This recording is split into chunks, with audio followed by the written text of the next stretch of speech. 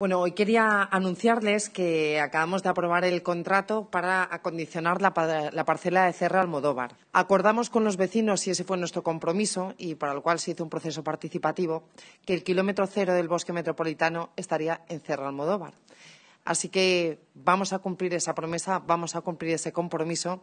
y empezamos a, eh, las labores para acondicionar. Empezarán en junio eh, esperamos que el plazo para terminarlo sean aproximadamente unos seis meses. Como saben, ya empezamos a trabajar porque empezamos con el plan especial de protección arqueológica del cerro, puesto que habíamos encontrado utensilios de sílex que eh, contaban alrededor de 30.000 años, una riqueza que no queremos hacer perder a nuestra,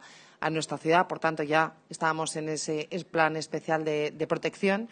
pero paralelamente empezamos los trabajos de estabilización de taludes, empezamos los trabajos para reforestarlo y vamos a hacer también que este cerro, que es un cerro importante, que los vecinos además reconocen como parte de la, historia viva de nuestra ciudad y más de los distritos de, concretamente de Villa de Vallecas, de Vicálvaro, que los conectarán en un futuro, pues puede contar también con un mirador en lo alto del cerro, así como con actividades culturales y también de, formación que se van a llevar a cabo. Forma parte del proyecto que está siendo impulsado desde el área de urbanismo por Mariano Fuentes, que es el proyecto Madrid Isla de Color.